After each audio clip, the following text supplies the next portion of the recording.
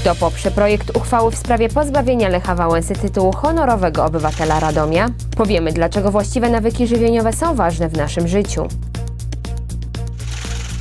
Radomiak Radom wyjechał do Stargardu na mecz z Błękitnymi. Monika Stańkowska, witam i zapraszam na piątkowe wydanie dziennika.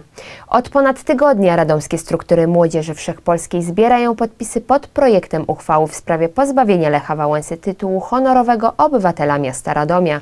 Okazuje się jednak, że nawet gdyby wniosek trafił pod głosowanie Rady Miejskiej, to nie ma on większych szans na przegłosowanie. Młodzież Wszechpolska wystąpiła z propozycją zbierania podpisów pod projektem uchwały w sprawie odebrania Lechowi Wałęsie tytułu honorowego obywatela Radomia po ostatnich publikacjach dokumentów przez Instytut Pamięci Narodowej. Y, Dzięki pracy takich historyków jak profesor Cęckiewicz czy pan Piotr Kontarczyk y, od dawna mieliśmy świadomość, że Lech Wałęsa mógł współpracować z aparatem bezpieczeństwa w latach 70., jednak dopiero po ujawnieniu oryginalnych teczek y, TW Bolka w domu pana generała Kiszczaka opinia publiczna czarno na białym dostała wiadomość, y, że mówienie o agenturalnej przyszłości byłego prezydenta nie jest jedynie y, teorią spiskową garstki radykałów. Po spełnieniu wszelkich wymogów formalnych o losie wniosku Młodzieży Wszechpolskiej zadecydują radni. Jeżeli zostanie przygotowane i przedstawione tysiąc podpisów,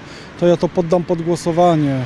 Moim zdaniem decyzja Młodzieży Wszechpolskiej o zbieraniu tych podpisów jest decyzją, no myślę, że na tym etapie niepotrzebną i przedwczesną.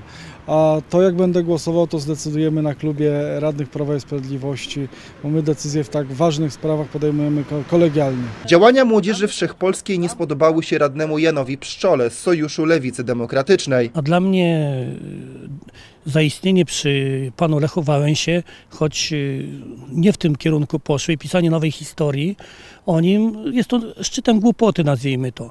Jeżeli chcą, to niech się zajmą historią gospodarczą, czyli niech znajdą ludzi, którzy najwięcej skorzystali na przekształceniach i niech po prostu nie idzie w zakłamanie informacja y, do mediów w tym zakresie. Krytycznie pomysł Wszechpolaków ocenia również radny Wiesław Wędzonka z Platformy Obywatelskiej. Natomiast ja będę zdecydowany przeciw y, takiemu rozwiązaniowi, rozwiązaniu, dlatego że uważam Lecha Wałęsę za człowieka, który zmienił ustrój w Polsce. Jest